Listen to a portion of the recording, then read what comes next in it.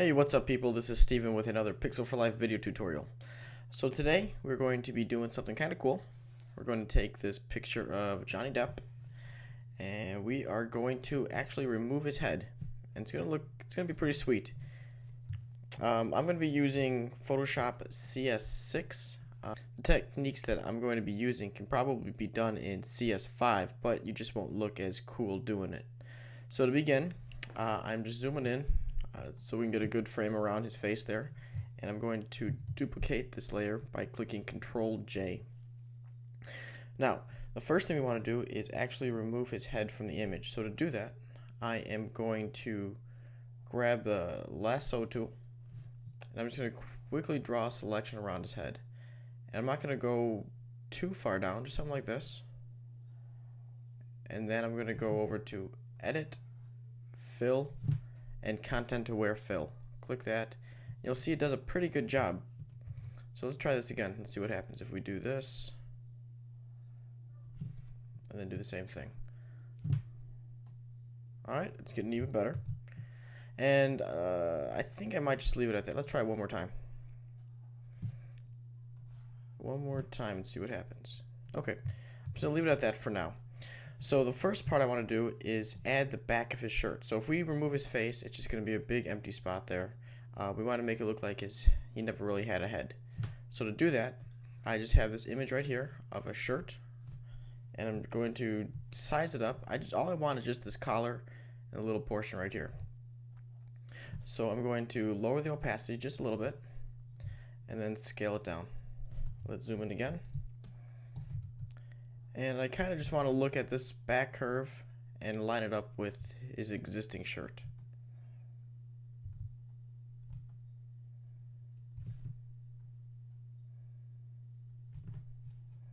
Okay, that'll probably do the trick. Let me zoom in a little bit and let's move it.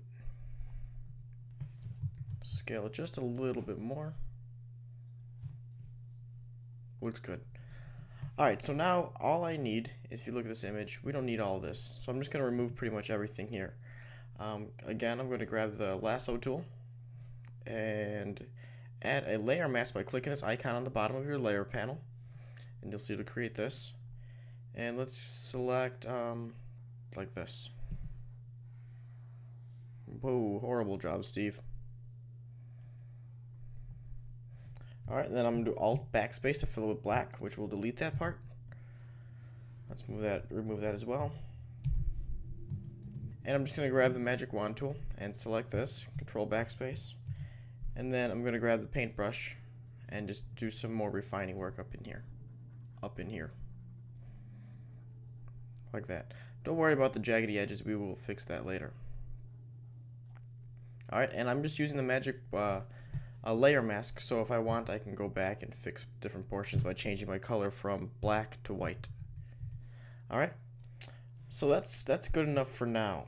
Um, let's actually erase this front portion of it real quick. So with my black paintbrush I'm going to erase just the front portion.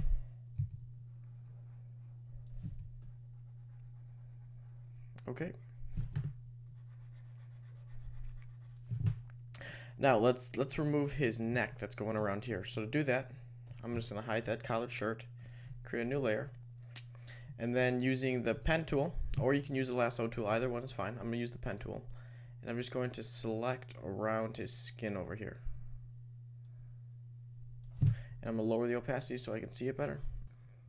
As usual, I'm just going to speed through this selection process because it's pretty boring to watch, but um, sped up, it's not too bad. You get the idea.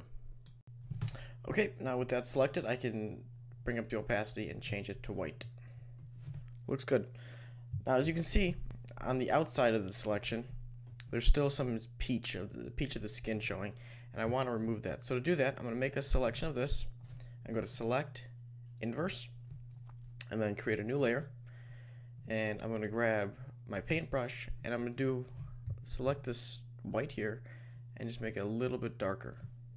All right. And then all I'm going to do is just paint around, paint around all the edges like this.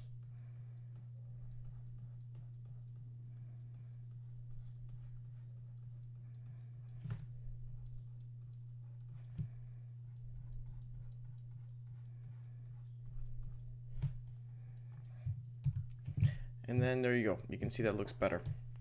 All right, so now uh, we have this collared shirt, uh, this white we can create a layer mask and we can just hide this top portion right here because we don't need any of this showing above the collar. Looks good. And now we have to finish removing this back end over there. So to do that, I'm going to hide the collared shirt. Um, let's see. I'm going to grab over here. I'm going to go to my patch tool. And I'm going to select a small portion here. Drag it out, Control D. And you can see that doesn't really look too well, work out too well. So what I want to do actually is grab my uh, lasso tool. And I'm just going to draw a selection around here. Something like this. Alright, and then I'm going to drag out to over here and click Control J. So that's going to create a new layer with just the green. And then I'm going to drag that over over to here. So it covers up that, that spot. Looks good. And then I'm going to combine these with Control E.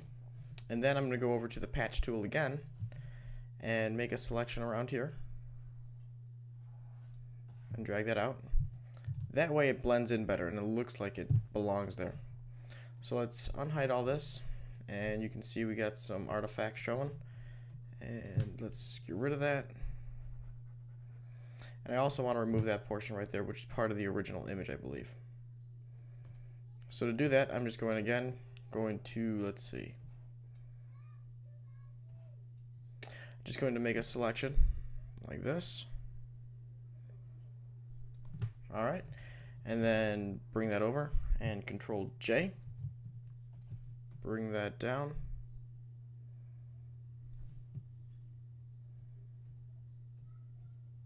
Oh, looks like I'm on the wrong layer.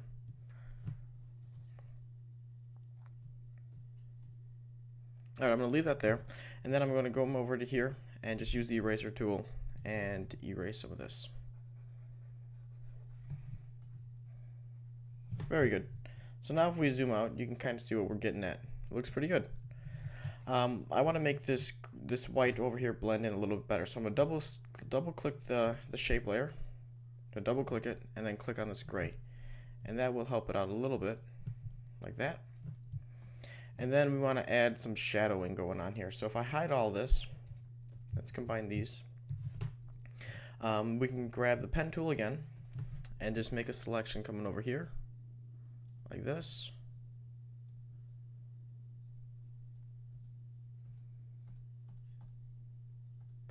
Alright, and then we can make it black. Go to filter and blur, Gaussian blur. It's going to say he wants to rasterize it. Say, okay, that's fine. And I'm going to have mine at 2.5. So if I unhide all this, I can go to this selection here, go to select, inverse, or actually, let's just select it and create a layer mask. Um, create a layer mask, and then we got to drag it to the top. My bad. And then we can lower that opacity quite a bit down. And then that gives it some depth, some Johnny depth. Alright, that was bad. And then I'm going to grab my paintbrush again, and I'm just going to fix this edge over here. Remove those artifacts.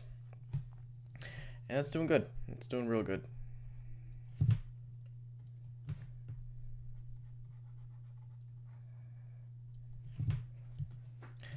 Now let's um let's add a little bit more shadow shadowing over here.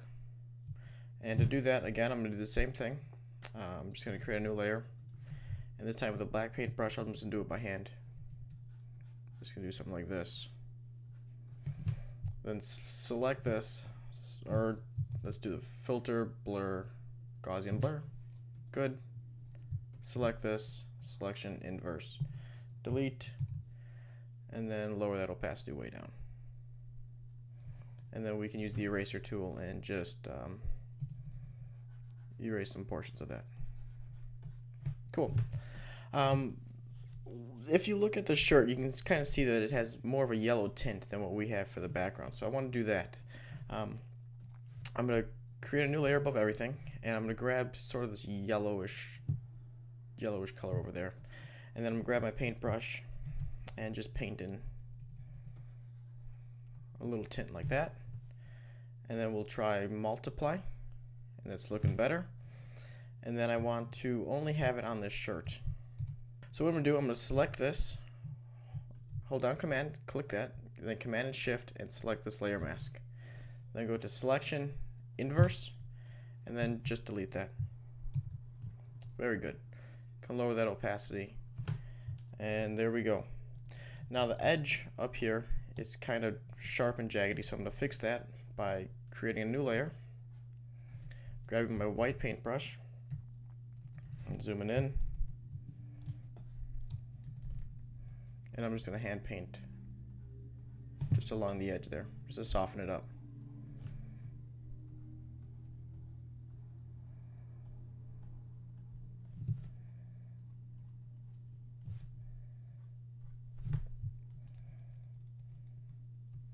zoom out, and there you go. That's all there is to it. It looks pretty sweet. Um, we can always add a caption that says, what? But no, I wouldn't do that. Alright guys, so thanks for watching. Hope you like this tutorial. If you have any requests for anything else, please let me know. Check us out on Twitter, subscribe to us, show some love. Thanks for watching. See you next time.